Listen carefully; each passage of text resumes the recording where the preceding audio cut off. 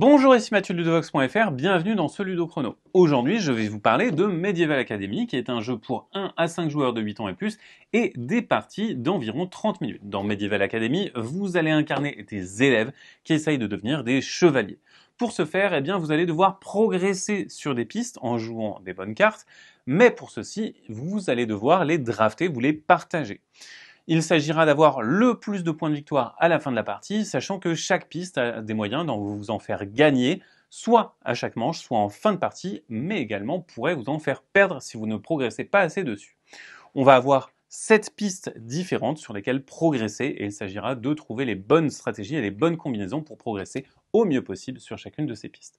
Voilà pour le principe de Medieval Academy et donc comment est-ce qu'on va jouer? Eh bien on va jouer comme je vous le disais en 6 manches et à chaque manche les joueurs vont tous se voir distribuer 5 cartes.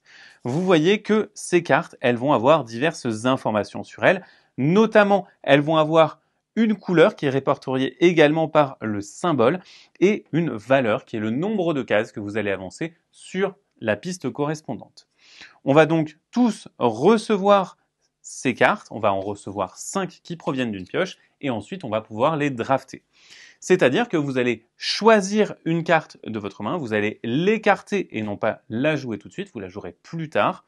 Et simultanément, vous faites ça et ensuite vous passez les cartes à votre voisin.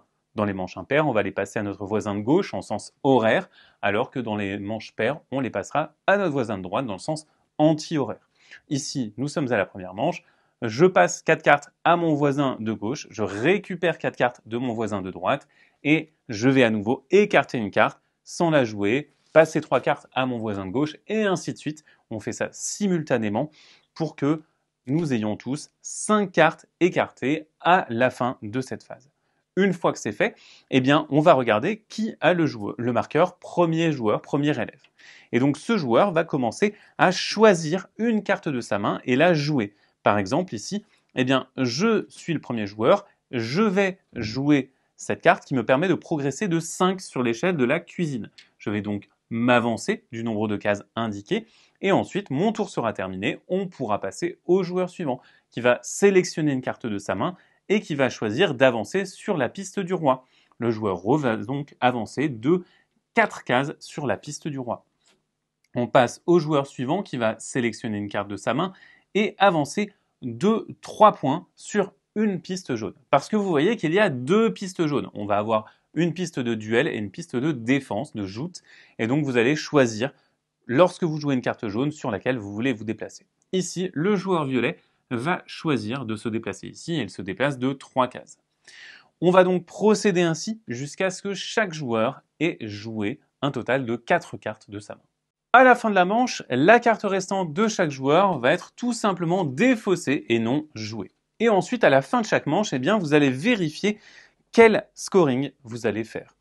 Pour chaque manche, eh bien, vous allez procéder au décompte des 4 pistes du bas, à la manche 3 et à la manche 6 vous allez procéder en plus à la piste du roi et enfin, en fin de partie à la manche 6, vous allez procéder également au scoring de ces deux pistes-là. Alors ces scorings, eh bien vous allez les résoudre de haut en bas. Vous allez commencer par la cuisine. La cuisine, qu'est-ce qu'elle vous permet de faire? Eh bien, elle va vous permettre de vous déplacer en plus si vous êtes le plus élevé. Si vous êtes le plus élevé, vous allez tout simplement vous déplacer de 3 cases supplémentaires. Ici, par exemple, je pourrais faire 1, 2, 3 et donc me déplacer sur une autre piste. Le deuxième joueur ferait deux cases et pourrait par exemple faire 1, 2 et il va se placer dessus. En revanche, pour pouvoir prétendre à des gains sur une piste, il faut s'être déplacé, c'est-à-dire qu'il ne faut pas être sur la case de départ.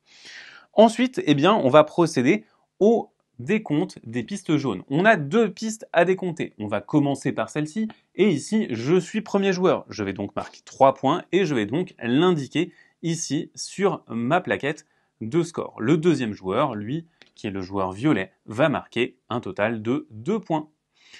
De ce côté-là, du côté de cette piste-là qu'on va également marquer, vous voyez que moi je suis tout dernier, je n'aurai rien du tout. Par contre, ici, nous avons un cas d'égalité.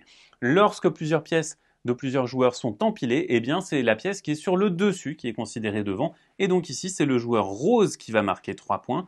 Et le joueur suivant, c'est le joueur violet qui va marquer deux points. Une fois que nous avons fait ces pistes-là, on va procéder à celle-ci, et celle-ci c'est une piste négative. Eh les derniers vont avoir des points négatifs, et donc ici, ce sont ces deux joueurs qui sont à égalité pour la place de dernier, et qui vont donc avoir un malus de 3 points chacun. Nous avons presque terminé la manche. Pour procéder à la manche suivante, vous avancez le compteur de manche et vous transmettez l'épée au joueur suivant.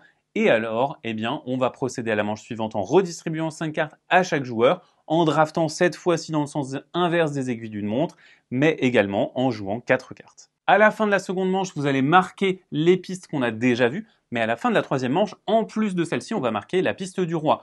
Vous allez alors, si vous avez dépassé ou atteint les seuils qui sont indiqués, gagner des points supplémentaires, 6 ou 12 points si vous êtes arrivé tout en haut. La troisième manche étant terminée, tous les jetons qui vont se trouver sur les pistes qui viennent d'être marquées vont retourner sur leurs emplacements originels. Mais attention, pas les jetons qui sont sur les deux pistes de fin de partie.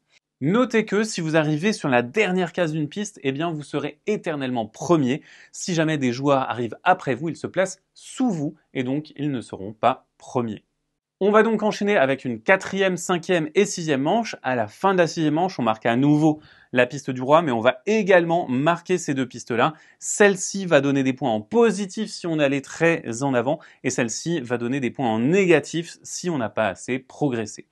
Vous avez votre score et le joueur ou la joueuse qui a le plus de points une fois qu'on a terminé ses décomptes aura remporté la partie de Medieval Academy. Il existe dans Medieval Academy pas mal de variantes.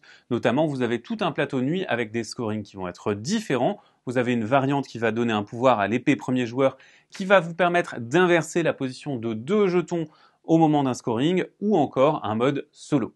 Voilà pour Medieval Academy, c'est donc un jeu dans lequel vous allez devoir bien sélectionner les cartes de votre main, donc vous allez les drafter puis les jouer et il faudra avancer sur les pistes qui vous rapporteront le plus de points à court terme ou à long terme. Maintenant, c'est à vous de jouer. À bientôt sur ludovox.fr.